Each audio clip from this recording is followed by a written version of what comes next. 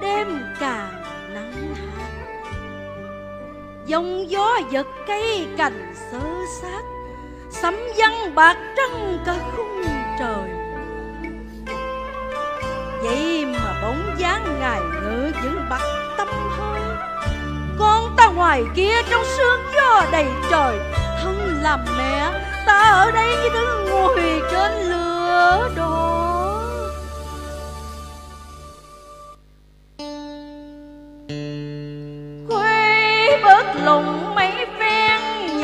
Dãy hành lang khi mờ khi to Giang giấy Phật trời cho dông bão sớm qua. Mau mơ tành gió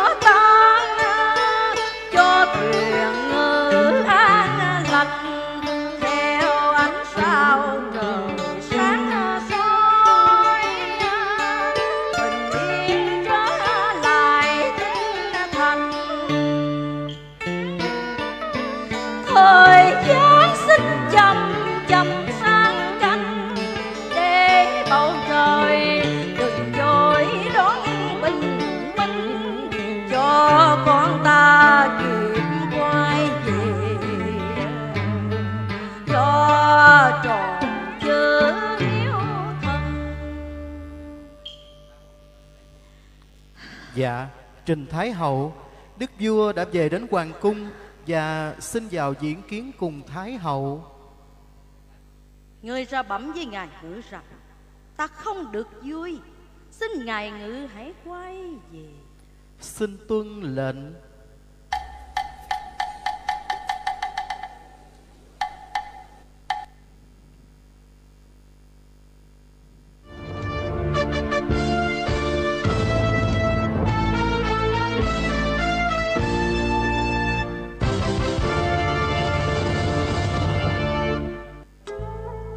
Trình lệnh mẹ. Con bất hiếu để mẹ hiền lo lắng. Vừa về đến hoàng cung Con xin vào hầu mẹ Và dẫn roi Để mẹ trị tội bất hiếu nhi. Không dám. Ngài là vua Làm sao ta dám trị tội ngài? Xin ngài ngự hãy về cho. Trình lệnh mẹ Ngày mai là ngày kỵ của tiên dương con mải mê săn bắn ở rừng thuận trực. Trên đường về, Lại gặp phải mưa to, gió lớn, Thuyền ngược nước, Nên con không về đúng như lời mẹ dạy. Con có lỗi, Xin mẹ hãy phạt roi rồi tha thứ cho con. Mẹ đừng giận, Kẻo hao mòn ngọc thế. Cảm ơn ngài ngữ đã để lòng lo lắng. Nhưng kể từ bây giờ, Ngài đừng bận tâm. Đừng chầu cung để hầu ta nữa. Quyển từ quân vũ kia đem xé cho rồi Ngài ghi chép lời ta chỉ càng thêm mai mẻ Trình lệnh mẹ Con không dám. Ngài không dám ở cửa miệng bờ môi. Chứ thật lòng Ngài đâu có kiên nghị Dỗ kỹ của tiên dương mà Ngài còn dám xem thường Thì có nghĩa gì những lời ta giao quân? Mẹ ơi mẹ tha thứ cho con. Thôi Đêm đã quá khuya Ta cần nghỉ ngơi xin ngài hãy lui về Mẹ ơi Con đã biết tội của con rồi. Và sẵn sàng chờ lệnh mẹ phạt rồi. Chỉ cầu xin mẹ tha thứ cho con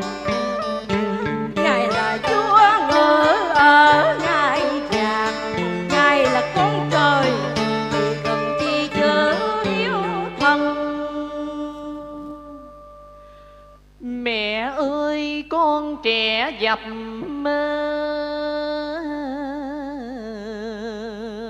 đầu. Cúi lại mẹ hiền mở lượng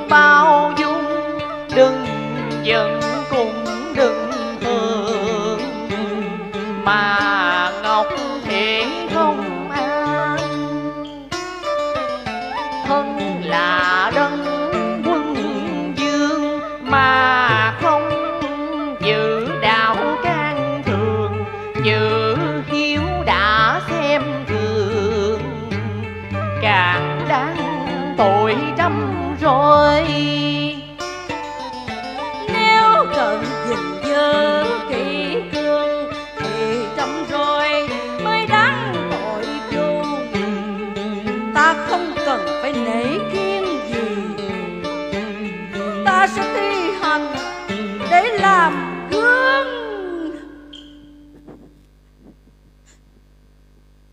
Tự bất giáo phụ mẫu hề chi qua Kìa mẹ Mẹ ơi Mẹ đừng làm vậy mẹ ơi. Giang ra. Mẹ ơi. Con ư là tại cha tại mẹ mà. Mẹ ơi mẹ đừng tự đánh mình mà mẹ ơi.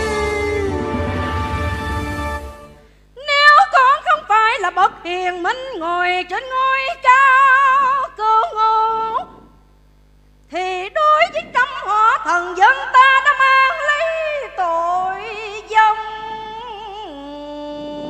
tình. Mẹ ơi.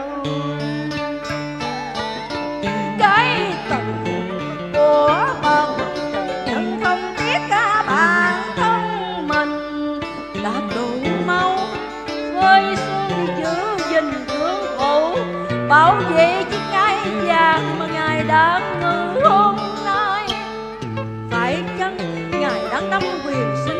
ở trong tay. Ngài tự cho mình cái quyền được xem nhẹ điều đạo lý. Ngài được sống như người ít trì chỉ biết thương chui thiên mà không một chút ba ngày ngần. Không dạy được con là lỗi ở nơi ta. Kìa, mẹ ơi, Mẹ đừng tự đánh mình mà mẹ ơi? Mẹ ơi Lòng con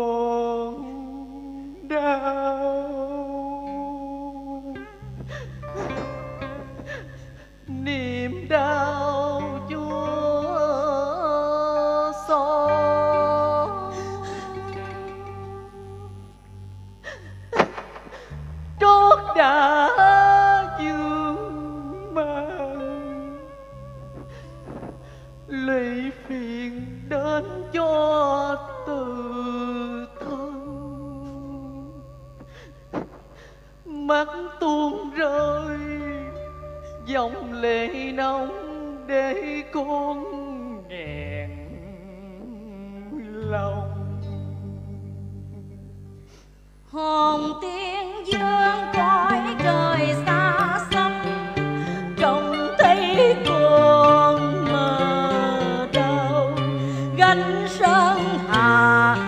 con dư vẹn làm sao? Mẹ ơi, thuyền ngược sóng chậm trôi, giữa đêm tối mênh mông đất trời, gió mưa dần vô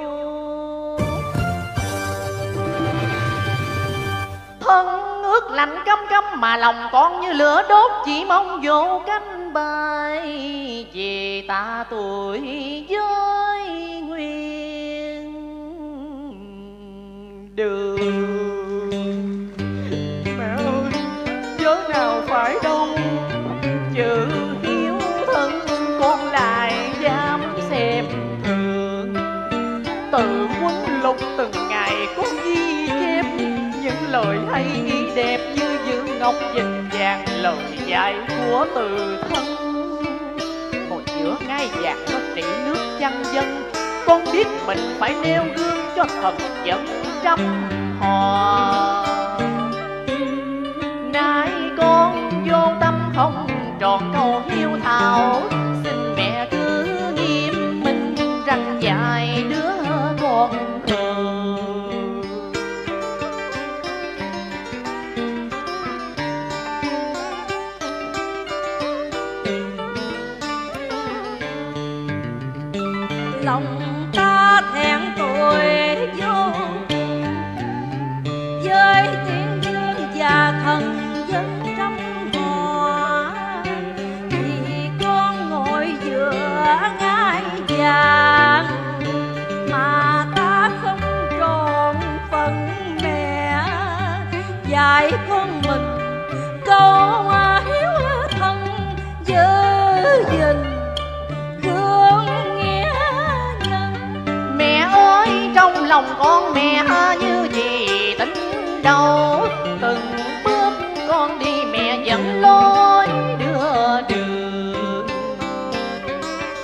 Con luôn thấy mình nhỏ dài bên người mẹ Từ tâm trí tuệ tinh tường Thuyền gian sang con chèo mẹ lai Ơn nghĩa đầy thương biết mấy mẹ ơi. Đọc chữ thi văn, tự học diễn ca, Luận ngữ diễn ca, Rồi sách chữ nôm, sách thập đều đều cho tự ta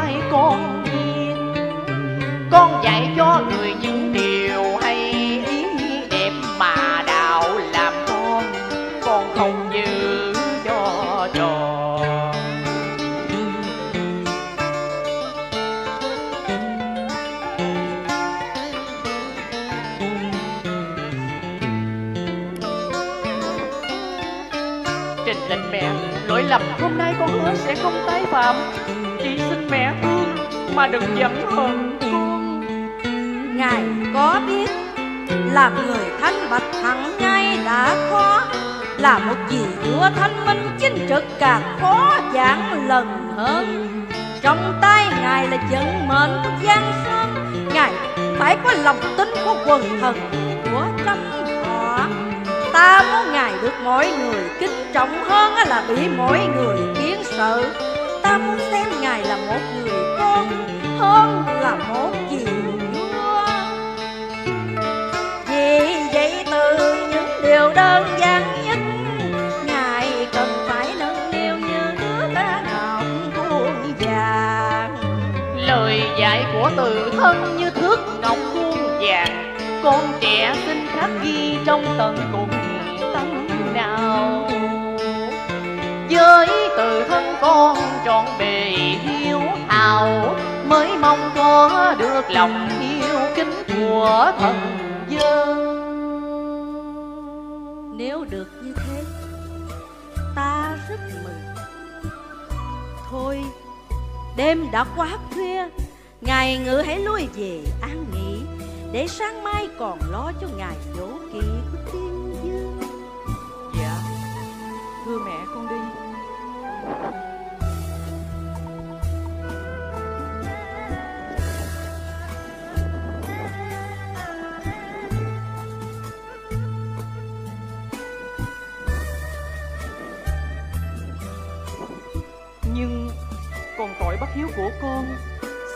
Phạt rơi, Thì con mới an lòng Là mẹ đã tha thứ cho con Và không còn hờn giận.